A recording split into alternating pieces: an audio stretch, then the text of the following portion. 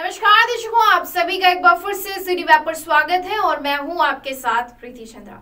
उत्तर प्रदेश की राज्यपाल आनंदीबेन पटेल ने कृषि प्रदर्शनी में विभिन्न स्वयं सहायता समूह द्वारा लगाए गए स्टॉलों का निरीक्षण कर सदस्यों से संवाद किया।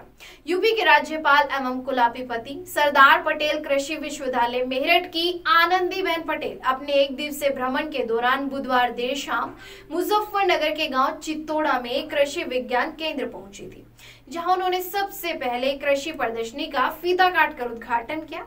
इसके बाद उन्होंने केंद्र पर कृषि, इफ्को, आंगनबाड़ी, गन्ना शोध संस्थान आदि विभिन्न विभागों द्वारा जनपद स्तरीय प्राकृतिक एवं जैविक उत्पाद तथा स्वयं सहायता समूह की आयोजित प्रदर्शनी के स्टॉलों का अवलोकन किया। राज्यपाल ने प्रांगण प्रदर्शित जैविक उत्पादों में गहन रुचि दिखाते हुए समूह की महिलाओं से चर्चा भी की। राज्यपाल ने गन्ना विकास विभाग के अंतर्गत चल रहे गंगा स्वयं सहायता। महिला समूह के गन्ना के स्टोलों पर सबसे ज़्यादा वक्त बिताया और उनके द्वारा तैयार की जा रही गन्ने की पौध व सिरके बनाने की विशेष सराहना भी की। राज्यपाल ने केंद्र के प्रांगण में कपूर का पौधारोपण भी किया। आपको बता दें कि आधुनिक गुड़ प्रसंस्करण इकाई का उद्घाटन भी किया गया।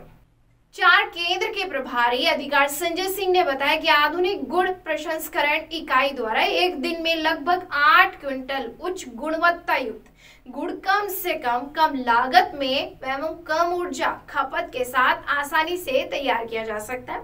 अंत में केंद्र के सभा कक्ष में कृषि विश्वविद्यालय मेरठ के प्रभारी कुलापति, प्रोफेसर शमशेर द्वारा महामहिम का फूलों द्वारा गुलदस्ता देकर स्वागत करते हुए विश्वविद्यालय एवं केंद्र द्वारा कृषि उपयोगी चलाए जा रहे कार्यक्रमों की चर्चा की गई।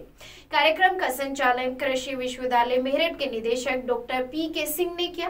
कार्यक्रम में विधायक विक्रम सैनी, डीएम चंद्रभूषण सिंह, सीडीओ आलोक यादव उप निदेशक कृषि आर पी चौधरी, जिला गन्नाधिकारी डॉक्टर आर डी द्विवेदी, जिला कृषि अधिकारी, कृषि रक्षा अधिकारी आदि मुख्य रूप से उपस्थित रहे। आज के लिए बस इतना ही। अगर आपको हमारी ये वीडियो पसंद आई तो प्लीज़ ज़्यादा से ज़्यादा लाइक करें और शेयर करें कमेंट करके ज़रूर बताइएगा। अभी के लिए धन्यवाद।